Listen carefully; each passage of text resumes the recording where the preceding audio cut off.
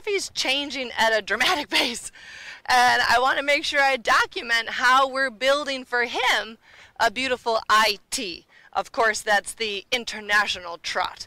And every horse has their own version of it. And it's our job because the trot is the gait we can change and improve the most.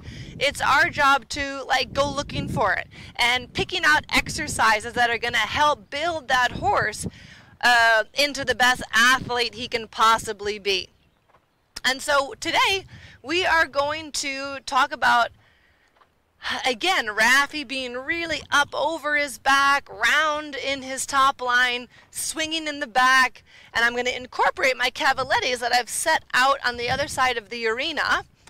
We're going to use those to help him elongate his stride. Of course, they're not raised yet because this is pretty new for Raphi. And what was interesting when I um, asked Lisa about Cavaletti, she said, well, he would always just jump over them all.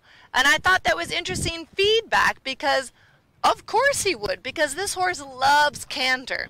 And it's so easy for him to just go back legs, front legs, back legs, front legs, you know, and just kind of like boop, boop, boop, boop, boop, boop, and not have to separate his hind legs from each other and not have to isolate the different pieces of his pelvis to really you know, trot in a big way, you know, it'd be way easier if he could canter over them all, right? So, of course, because he's tight, he would choose to just canter over all of them or leap over all of them or, or what have you. So, our job is to help Raphi learn how to bend his joints, take the weight, spring off of those bended joints, and see what kind of trot we can get into. So I start off in a little school trot, and because Raphi likes to not remember exactly the best way to use his top line, I'm just in a normal, like, kind of active school trot, but it's not anything particularly special. But I have him in a shape. So I have him a little shoulder in, shoulder in, shoulder in. Now I'm going to make my half circle towards the cavaletti.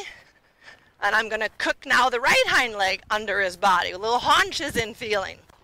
Because what happens to Raphi, I'm sure you'll see it, he wants to stiffen his body and not bounce over the cavaletti. Bounce, bounce, bounce. Good boy. And now I'm just, I'm with him. I'm with him. It's, it's like a long half halt. So it's not a quick half halt.